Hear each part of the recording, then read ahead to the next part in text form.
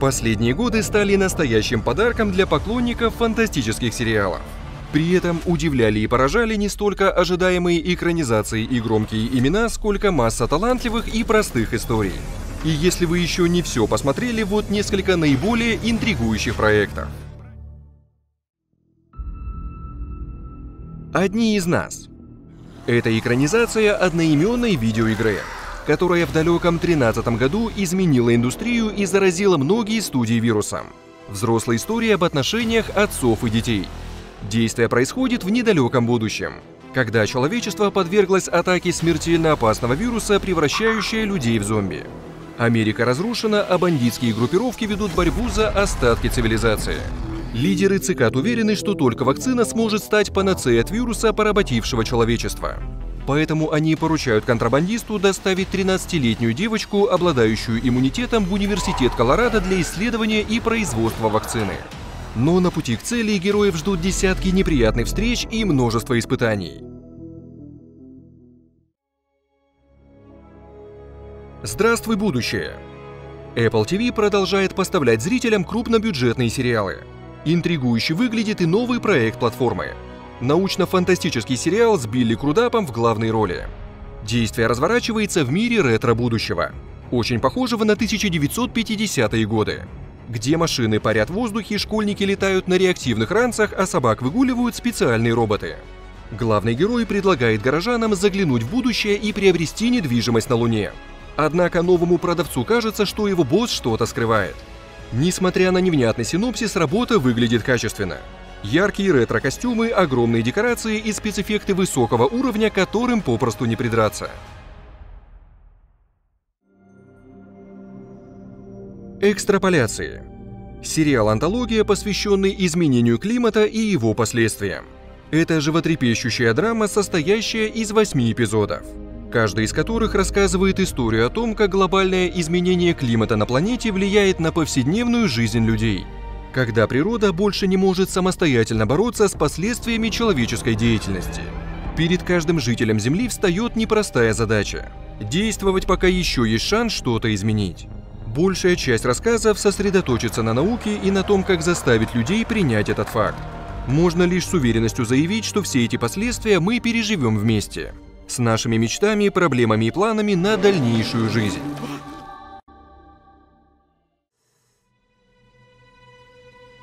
Цитадель. Американский научно-фантастический сериал, созданный Патриком Мараном и братьями Руссо, с Ричардом Мэдденом в главной роли. Проект должен стать началом новой франшизы, где помимо уже заказного второго сезона будут локальные спин снятые в Италии и Индии. Цитадель расскажет о том, как тайное общество Мантикора уничтожило международное шпионское агентство, чтобы свободно управлять миром. Несколько агентов Цитадели умудрились сбежать, но потеряли память. Теперь им предстоит уйти от преследования, найти коллег и спасти мир. В общем, если вам вдруг не хватило недавнего серого человека, то братья Руссо приготовили динамичный экшен-триллер и очередную шпионскую историю. Укрытие. Научно-фантастический сериал, созданный Грэмом Йостом на основе одноименной серии книг Хью Хоуи. Проект рассказывает о постапокалиптическом будущем, где человечество спустилось на несколько миль вглубь под землю, чтобы скрыться от токсичного воздуха на поверхности. Теперь они живут в гигантском бункере, уходящем на сотни этажей под землю. Никто из них не знает, когда и почему был построен этот бункер, но любой пытающийся выяснить это сталкивается с фатальными последствиями. День за днем обитатели безропотно подчиняются устоявшимся правилам, главное из которых никогда не выходить из бункера. Главная героиня Ребекка Фергюсон начинает расследовать убийство близкого человека и обнаруживает то, что ей не следовало знать.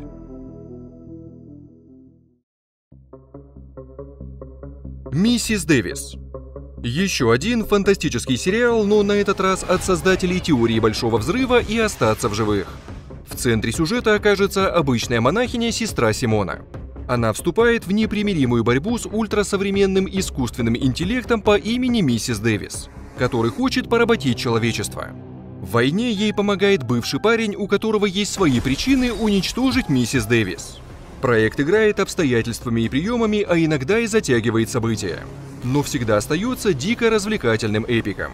Зрители отмечают, что получилась очень странная и ни на что не похожая смесь научной фантастики и абсурдной комедии. Задача трех тел.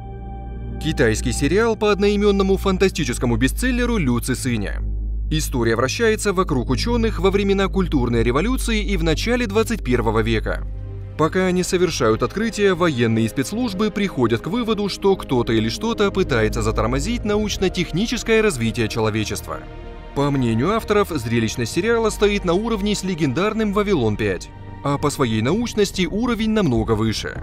Проблемы, затрагиваемые в произведении «Задача трех тел» созвучны ситуации, которая сложилась в сегодняшнем мире, когда решение масштабных проблем требует участия всего человечества – к сожалению, безумно уничтожающего все вокруг. Секретное вторжение. Это первый сериал нового этапа в развитии Марвел. Шестисерийник расскажет о Нике Фьюри, который раскрывает страшный заговор. Оказывается, меняющая форму раса скрулов вовсю обосновывается на Земле под видом людей. Фьюри обеспокоен судьбой человечества, поэтому собирает новую команду, чтобы остановить вторжение. Почти все сериалы Marvel на бумаге выглядят интересно. Развитие второстепенных персонажей, интригующая завязка, концепт на стыке далеких от киновселенной жанров. Но в действительности они все оказываются самыми обычными блокбастерами Marvel. Хочется верить, что у создателей проекта получится сделать драматическое шоу, где полноценно раскроется и герой Джексона, и заявленный нуарно-параноидальный сюжет. Периферийные устройства. Новый научно-фантастический сериал от создателей мира Дикого Запада и основанный на одноименном романе Уильяма Гибсона, автора нейроманта. Сюжет вращается вокруг девушки по имени Флинн Фишер, которая работает в 3D-типографии и тестирует VR-игры. Однажды с помощью VR-устройства девушка попадает в футуристический Лондон и постепенно осознает, что окружающий ее мир не игра, а подлинный город будущего – Теперь героине предстоит выяснить, что стоит за этим случайным открытием.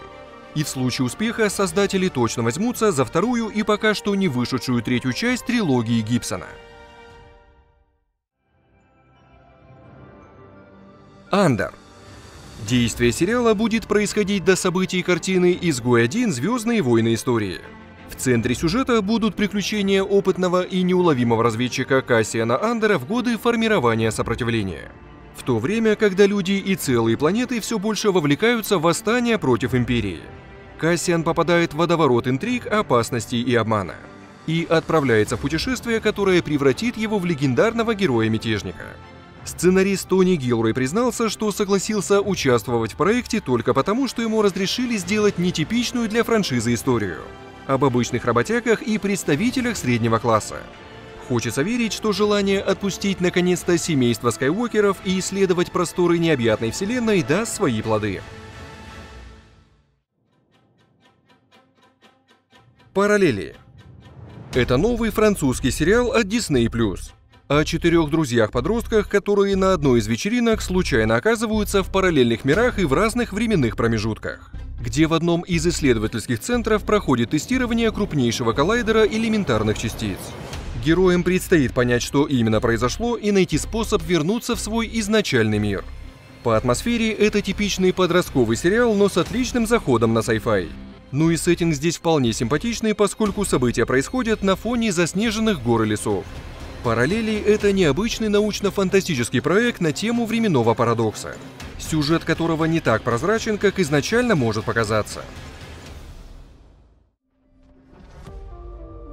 Ночное небо. Американский научно-фантастический сериал, где главные роли в нем исполнили лауреаты премии «Оскар» Сиси Спейсик и Джейка Симмонс. Сюжет восьмисерийного шоу рассказывает историю пожилой пары, где они обнаруживают на заднем дворе таинственный портал, ведущий на пустынную планету. На протяжении нескольких лет супруги хранят место в тайне от всего человечества. Однако привычной жизни героев приходит конец, когда на пороге их дома появляется загадочный незнакомец – Юноша появляется практически из ниоткуда и не только ставит под угрозу их общую тайну, но и кардинально меняет представление о ее происхождении. Сериал придумал и написал новичок Холден Миллер, зато за постановку эпизодов отвечают опытные режиссеры. Лауреат Оскара Хуан Хосе Компаньело «Тайна в его глазах» и дуэт Шерри Спрингенберман и Роберта Пульчини «Американское великолепие». «Сияющие» Экранизация одноименного романа южноафриканской писательницы Лорен Бьюкес со звездой рассказа служанки Элизабет Мосс в главной роли. Роман Бьюкис рассказывает о герое, который живет во времена Великой депрессии в Чикаго и неожиданно получает способность путешествовать во времени. Для чего он убивает так называемых сияющих девушек, ярких и молодых женщин, которые берут от жизни все. Одна из его потенциальных жертв становится репортером в газете «Чикаго Сан-Таймс» и пытается привлечь убийцу к ответственности. Когда же героиня переживает жестокое нападение, она обнаруживает, что реальность вокруг меняется. Всего в проекте будет 8 серий, а исполнителями-продюсерами выступает Элизабет Мосс и Леонардо Ди Каприо. Оби-Ван Кеноби Это новый фантастический проект о приключениях великого джедая Оби-Ван Кеноби. Действие сериала происходит спустя 10 лет после событий, показанных в фильме «Звездные войны» эпизод 3 «Месть ситхов». Мастер-джедай Оби-Ван Кеноби живет в изгнании на пустынном Татуине, где присматривает еще за совсем юным Люком Скайуокером. Однако обстоятельства вынуждают его выйти из тени и отправиться в новые приключения. В проекте планируется всего 6 эпизодов, а сам сериал будет посвящен тому, что происходило со знаменитым джедаем в промежутке между третьим и четвертым эпизодом «Звездных войн». Кроме всего прочего, нам обещают возвращение Дарта Вейдера в исполнении Хайдена Кристенсена. Над сценарием к сериалу работала Джоби Гарольд, Меч Короля Артура и Армия мертвецов, а за режиссуру всех серий отвечает Дебора Чоу, ставившая эпизоды «Мандалорца». Звездный путь. Странные новые миры. Еще один сериал в стремительно расширяющейся стриминговой вселенной Звездного пути. Странные новые миры одновременно спин Discovery и приквел оригинального Звездного пути, выходившего в эфир в 66-69 годах. В центре сюжета окажется первый экипаж знаменитого корабля Звездного флота Enterprise. Мистер Спок, второй пилот по прозвищу номер один и капитан Кристофер Пайк. Вместе они отправляются в опасное путешествие по галактике в поиске новых неизведанных миров. Разработкой шоу занимался непосредственно Алекс Курцман. Автор таких проектов, как «Звездный путь Пикара Discovery», так что за соответствие общей стилистике можно не переживать. Жена путешественника во времени. Новая шестисерийная экранизация одноименного романа американской писательницы Одри Нифенигер, где главные роли исполнили Тео Джеймс и Роуз Лесли. В центре сюжета окажется история чикагского библиотекаря по имени Генри и его жены Клэр. Главный герой страдает от редкого генетического заболевания, поэтому в состоянии стресса он перемещается во времени. Так Генри попадает как в прошлое, так и будущее, что не может не сказываться на его браке с супругой, которая большую часть своей жизни проводит в ожидании свидания с возлюбленным. В 2009 году роман уже переносили на большие экраны, но тогда получилось слишком сентиментально – Поэтому сейчас фанаты книги ждут достойный первоисточника проект с уклоном в научную фантастику.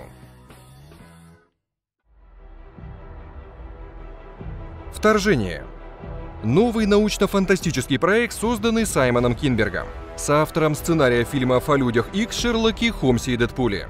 Как понятно из названия, речь пойдет об инопланетном вторжении.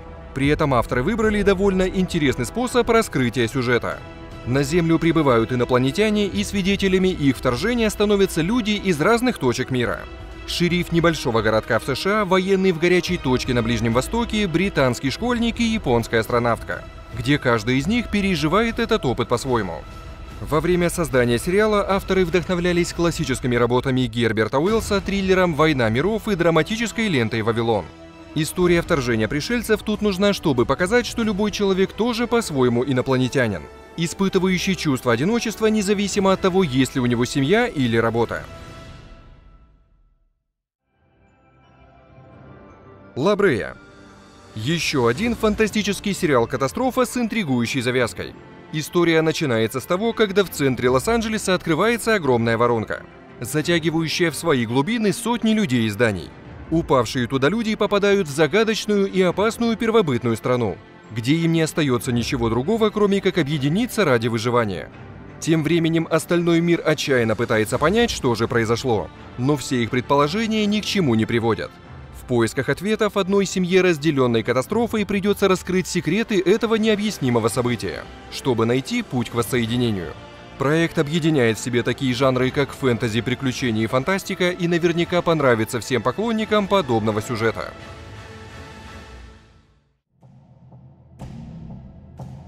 Ковчег. Научно-фантастический сериал о группе астронавтов, которая пытается выжить после случившейся на корабле катастрофы. События сериала переносят зрителя на сто лет вперед, когда Земля стала непригодной для жизни человека. Группа добровольцев-астронавтов отправляется в многолетнюю экспедицию, чтобы основать первую колонию на далекой планете. Космический корабль «Ковчег-1» в течение долгих месяцев бороздит просторы Вселенной – давая надежду землянам, пока не происходит трагедия, которая уносит сотни жизней астронавтов. На борту остается горстка выживших, надеющихся все-таки добраться до конечной точки и выполнить первоначальную цель.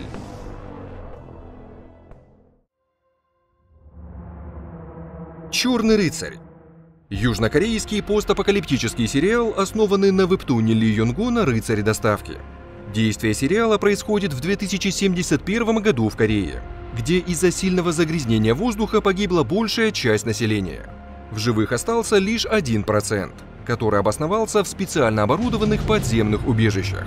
В новом мире главной и самой опасной профессией является доставщик, так как без них люди не смогут существовать. В этих условиях курьеры, известные как рыцари, играют важную роль в обеспечении человечества. Они доставляют кислород и другие предметы первой необходимости, попутно защищая груз от мародеров. Поэтому, отправляясь в поездку, герой не забывает брать с собой оружие и готовится дать отпор преступникам. Это были фантастические сериалы. И если вам понравилось это видео, тогда не забывайте ставить лайки, подписываться на канал, ну и нажимать на колокольчик. И всем удачи!